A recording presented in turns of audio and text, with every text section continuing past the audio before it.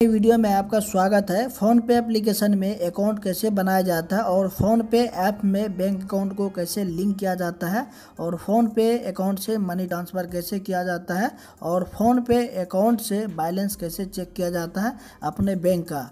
तो गुरु हमारे साथ बने रहिए इस वीडियो के लास्ट तक। तो इस सारे सवालों का जवाब आपको इस वीडियो में मिल जाएगा। तो सबसे पहले वीडियो के डिस्क्रिप्शन बॉक्स में आपको लिंक मिल जाएगा फ़ोन पे का। तो क्लिक करके वहाँ से आप डाउनलोड कर सकते हैं।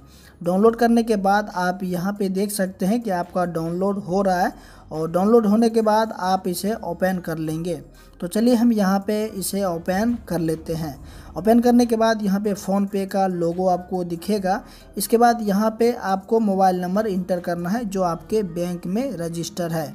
तो चलिए फाइनली हम यहाँ पे मोबाइल नंबर इंटर करेंगे और इसके बाद प्रोसीड वाले ऑप्शन पे क्लिक करेंगे। यहाँ पे आप अलाउ का परमिशन दे देंगे तो चलिए अलाउ पे हम क्लिक कर देते हैं। और यहाँ पे जो आप मोबाइल नंबर दिए हैं, उसमें ओटीपी आएगा ऑटोमेटिक यहाँ पे इंटर हो जाएगा और इंटर होने के बाद आप यहाँ पे देख सकते हैं, आपका फ़ोन पे अकाउंट जो है फाइनली बन जाएगा।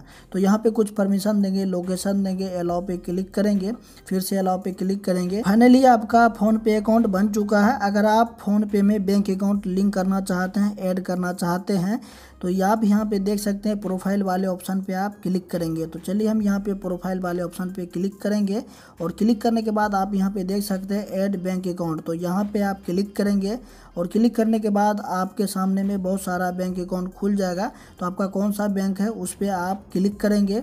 तो चलिए हम यहाँ पे इंडिया पोस्ट पेमेंट बैंक पे क्लिक करेंगे और जो सिम आपका बैंक में रजिस्टर है उस पर आप क्लिक करेंगे।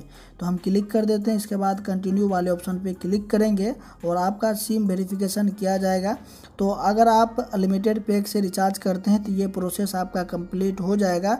यानी कि आपके सिम में एसएमएस की सुविधा होनी चाहिए यानी कि आप एसएमएस भेज सकते हैं किसी को। ये आपके प्लान में सुविधा होनी चाहिए फैसिलिटी होनी चाहिए।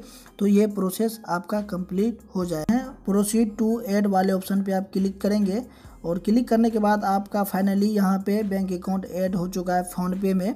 तो अगर आप यूपीआई पिन बनाना चाहते हैं तो रिसेट पिन पे आप क्लिक करेंगे और क्लिक करने के बाद यहाँ पे डेबिट कार्ड का लास्ट का छः अंक आपको इंटर करना है और month expiry, year expiry enter करके प्रोसीड वाले ऑप्शन पे आप क्लिक कर देंगे। तो चलिए प्रोसीड वाले ऑप्शन पे हम क्लिक कर देंगे और यहाँ पे जो आपका रजिस्टर मोबाइल नंबर होगा, उस पर एक ओटीपी आएगा। यूपीआई पिन बनाते समय ओटीपी आ चुका है ऑटोमेटिक तो यहाँ पर आप जो भी पिन सेट करना चाहते हैं, वो आप यहाँ पर सेट कर लीजिए और कन्फर्मेशन के लिए फिर से वही पिन देना है। उसके बाद राइट वाले ऑप्शन पर क्लिक कर देना है। तो यहाँ पर देख सकते यूपीआई पिन सक्सेसफुली आपका यूपीआई पिन भी बन चुका है और बनने के बाद आप यहाँ पे देख सकते हैं, अगर आपको चेक करना है कि मेरा बैंक अकाउंट लिंक हुआ है या नहीं तो प्रोफ़ाइल वाले ऑप्शन पे आप क्लिक करेंगे फिर से। और क्लिक करने के बाद आपको यहाँ पे देख सकते हैं फाइनली यहाँ पे आ जाएगा इंडिया पोस्ट पेमेंट बैंक तो इस तरह से आप यहाँ पे चेक कर सकते हैं। हम जो है फ़ोन पे में बैंक अकाउंट को ऐड कर चुके हैं। अब यहाँ पे मनी ट्रांसफ़र कैसे करना है होम पेज पे आपको दिख रहा है ट्रांसफ़र मनी तो यहाँ पे आप फ़ोन पे नंबर से भी पैसा भेज सकते हैं बैंक अकाउंट से भी भेज सकते हैं और यहाँ पे क्लिक करके चेक बैलेंस भी आप कर सकते हैं। तो फाइनली आप यहाँ पे इंडिया पोस्ट पेमेंट बैंक पे क्लिक करेंगे और अपना यूपीआई पिन इंटर करेंगे। तो यहाँ पे आपका बैलेंस चेक हो जाएगा, जैसा कि आप स्क्रीन पे देख रहे हैं। तो इस तरह से यहाँ पे बैलेंस भी चेक कर सकते हैं। अगर आपको और माध्यम से आप मनी ट्रांसफ़र कर सकते हैं क्यूआर कोड माध्यम से तो यहाँ पे क्यूआर कोड वाले ऑप्शन पे आप क्लिक करेंगे और स्कैन करके किसी को भी आप पेमेंट कर सकते हैं। तो फाइनली यहाँ पे देख सकते हैं स्कैनर आ चुका है। तो यहाँ पे आप स्कैन करके पेमेंट कर सकते हैं और गैलरी में अगर आपके पास कोई भी QR कोड पड़ा हुआ है तो वो भी यहाँ पे आप स्कैन करके पेमेंट कर सकते जो भी मनी ट्रांसफ़र करेंगे, उसका हिस्ट्री कैसे देखेंगे कि कब कितना पैसा भेजा तो होम पेज पर पे आएँगे। देखिए, कोने में एक ऑप्शन आपको मिलेगा हिस्ट्री का। तो यहाँ पे यहाँ पे हिस्ट्री पे जब आप क्लिक करेंगे आपका सारा डिटेल दिखेगा, कौन से आदमी को कितना पैसा भेजे हैं, कब भेजे हैं, कितना डेट को भेजे हैं, सारा डिटेल यहाँ पे आपको बताया जाएगा।